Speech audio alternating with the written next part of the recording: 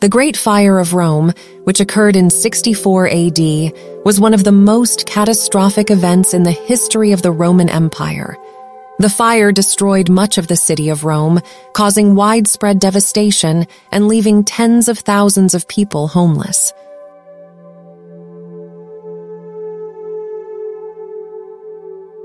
The causes of the fire have been the subject of debate for centuries, with some historians suggesting that it was deliberately started by the Emperor Nero, while others argue that it was simply an accident. Regardless of its cause, the Great Fire of Rome had a profound impact on the city and on the course of Roman history. Rome in the first century AD was a sprawling metropolis with a population of approximately 1 million people. The city was home to some of the most impressive architectural and engineering feats of the ancient world, including the Colosseum, the Pantheon, and the aqueducts.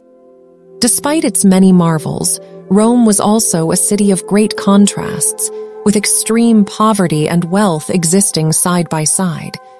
Much of the city was made up of densely packed tenements, with narrow streets and flimsy wooden buildings. The Great Fire of Rome began on the night of July 18th, 64 AD, and quickly spread through the city.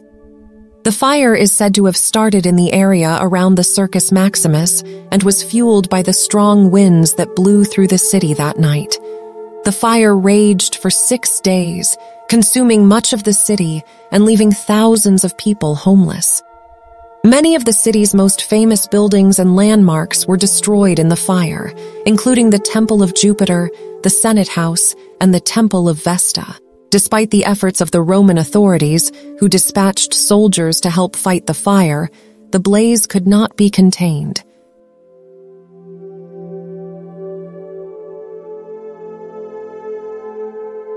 Some historians have suggested that the fire was deliberately started by the Emperor Nero, who was said to have watched the fire from the safety of his palace while playing his lyre.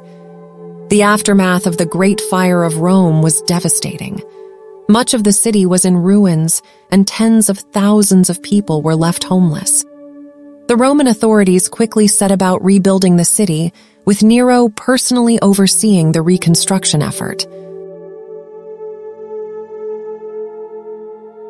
The rebuilding of Rome was a massive undertaking and involved the construction of new roads, bridges, and buildings.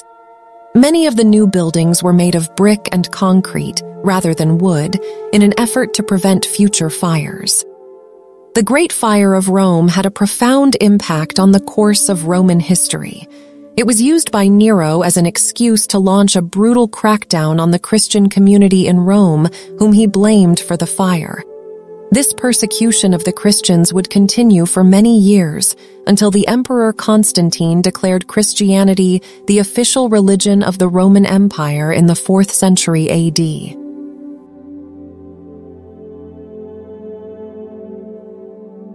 The Great Fire of Rome was one of the most catastrophic events in the history of the Roman Empire. It destroyed much of the city of Rome, causing widespread devastation and leaving tens of thousands of people homeless.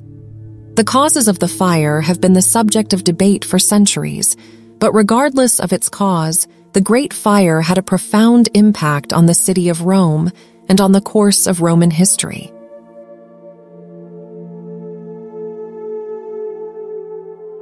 The rebuilding of Rome after the Great Fire was a massive undertaking and involved the construction of new buildings and infrastructure.